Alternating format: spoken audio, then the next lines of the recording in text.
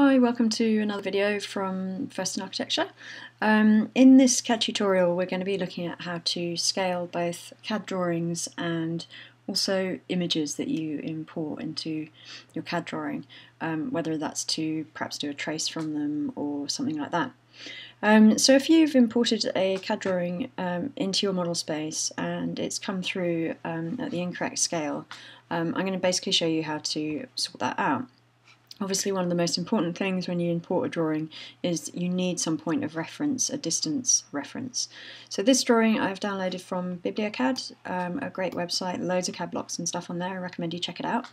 Um, and as you can see it's some large buildings and my reference point here is going to be these floor levels. Um, so that's what I'm going to use to scale up the, the drawing. There are a couple of ways you can use scale. There's both the scale command and the align command. Um, for this one I'm going to look at scale and then I'll show you how to use align a bit later on.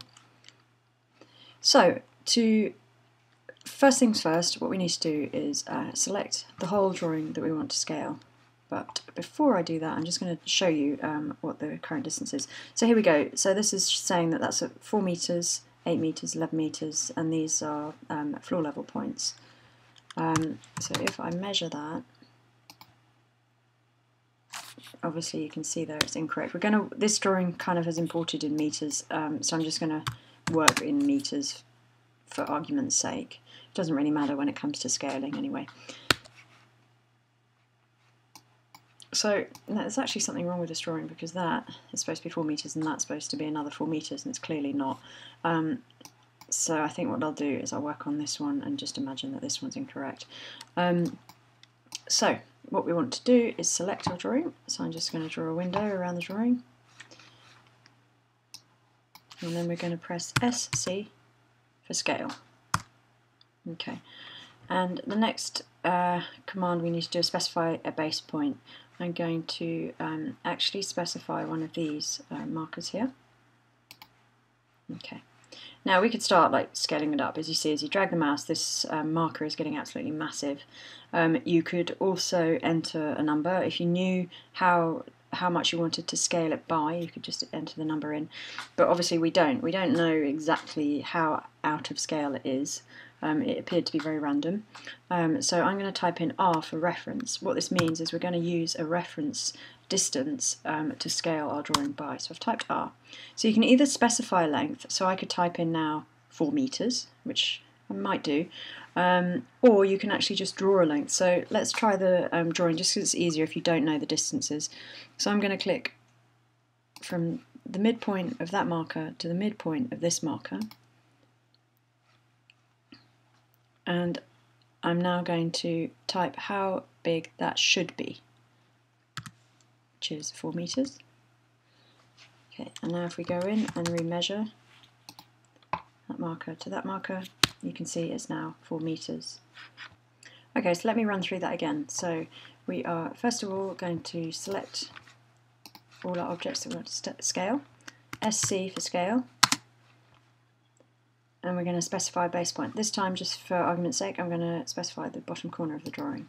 Okay that you can see there as I start to pull the cursor away it's scaling the drawing up hugely.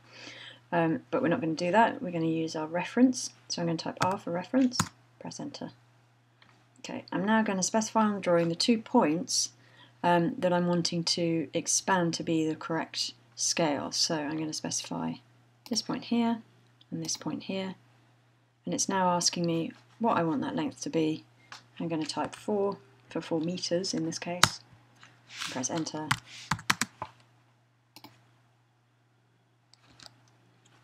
It's pretty much 4 meters. Let me just.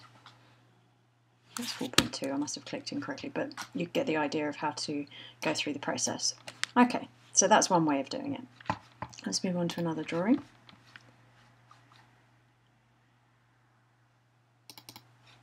Okay, we've got another drawing here. This drawing is actually in, um, well, it's in millimeters, but it's been dimensioned in centimetres, which is a bit confusing, but it doesn't really matter. Um, so once again, I've downloaded this drawing from BiblioCAD. Um, as you can see, it's a great resource. You can get loads of stuff on there, so do check it out. Okay, so with this one, I'm going to show you a slightly different way of doing it.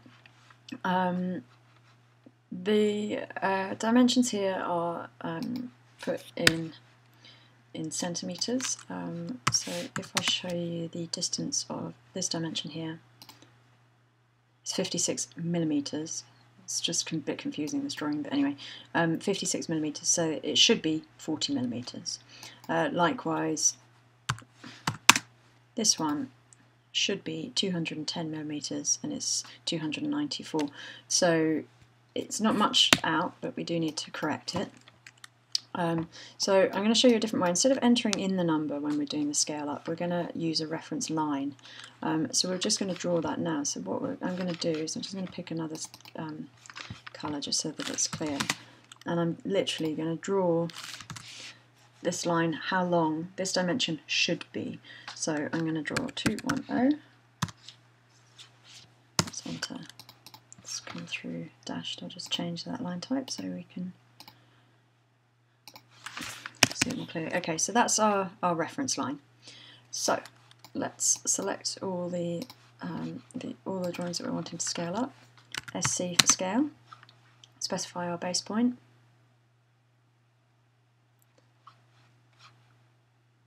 There we go.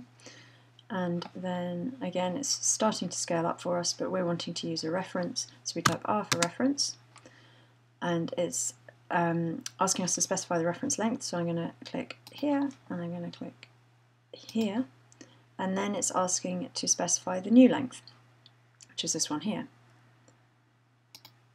And there we go, it's scaled down to the line we, we drew, which is 210 millimeters. So if I come in and do a measure of these two, let's hope, 39.9, that's pretty close, and for the 49.8 again pretty close so that's um, another way you can scale a CAD drawing um, now let's move on to scaling um, images in CAD so here I've got a basically a, a JPEG um, which I initially I PDFed that drawing that I was working on previously um, and I um, exported it as a JPEG so that we could insert it into the CAD drawing. You can also insert PDFs um, but for some reason I put it as a JPEG.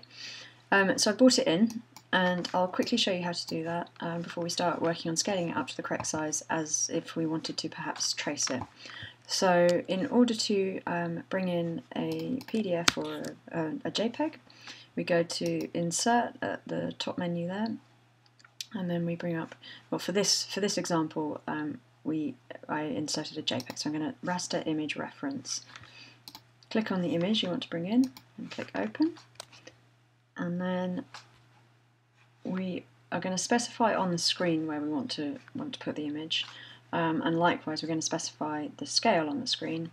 Um, path means um, remembering where the file is saved um, on your machine. Um, so basically when you set an image into your um, CAD drawing the image isn't actually in the CAD drawing, it, you're inserting the reference of that image. So you're telling CAD where the image is saved in your computer, and then CAD is going away looking for it and then bringing it up. So if you then move that image into another folder or something, you would no longer be able to see it in your CAD drawing. So by changing these options here, it means that you are enabling CAD to remember where this image is, so when you close it down and open it up again, it will still be in the CAD file. So I'm going to say full path. Full path means it's going to remember the whole entire path of where that um, file is saved. So for example, if it's in like My Documents, CAD Drawings, you know, folder 1, folder 2, it will remember the entire path as to where that is. Um, so those are the basic selections, so we're going to click OK to that, and as you can see now our cursor has a little square next to it which is um, wanting us to click to um, insert the, the JPEG, so I'm just going to click here, and then you can see it's kind of scaling, it's huge, um, or we can enter a scale factor, so at the moment it's just, it's guessing that we want it at scale factor 1. Let's see what happens if I type 0.5, so half the size, put it in, here you go, you can see it's coming really small there. And then you can just like scale up literally by using the grips. Um, however, we want to scale it more accurately, um, so I'm going to just delete this one and we're going to work on the other one that I brought in already. Um, you'll notice that this one um, is a little bit darker than the other one I just brought in.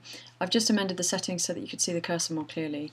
Um, so when you click on the image you've got these um, options like to amend the brightness, the contrast, but the one that's really useful is the fade because if you've got loads of lines going on on the drawing it's useful to be able to fade it out so that you can see you know what's going on in the background. Um, so that's a little tip there.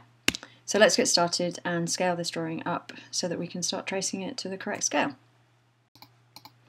Okay, first things first, we're going to check the size of this drawing as we brought it in. So I'm going to distance, and I'm going to click here, and I'm going to click there, and we can see it's 425. What we want it to be is 210. Okay, so what we'll do is we'll do something similar to what we did before um, by creating a reference line. So I'm just going to create a new layer, call it layer 1, but I'm going to just make it a bright colour so we can see what's going on. So our reference line, I'm just going to draw slightly off the JPEG itself so we can see it. Make sure it's straight, and I'm going to draw the reference line of 210, which is that dimension there. Have I selected the layer? Let me just put that on layer 1. There we go. Okay, so we're wanting to scale this uh, JPEG down so that this dimension here is the same as this. And instead of using the scale tool, we're actually going to use a different tool called the align tool. Um, so what I'm going to do is I'm going to select the JPEG and I'm going to type align, press enter. So then it's going to ask you a series of um, points to click on.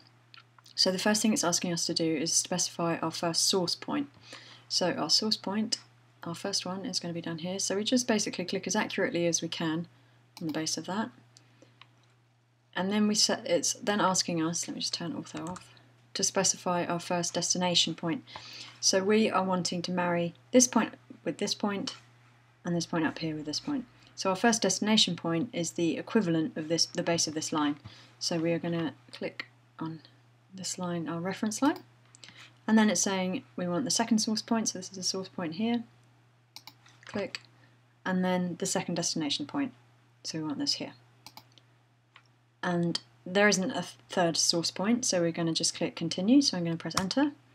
And then it's asking if we want to scale our object based on these alignment points. Well, yes, we do in this case. Sometimes you don't if you're aligning something just you're wanting to rotate it. But in this case, yes, we do want to scale it because that's the whole point of this exercise. So I'm just going to press Y for yes and enter.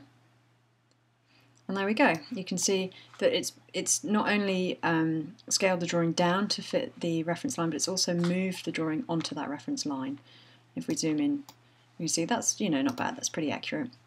Um, so that's way of using the align tool um, to scale a JPEG or PDF that you've inserted into your drawing.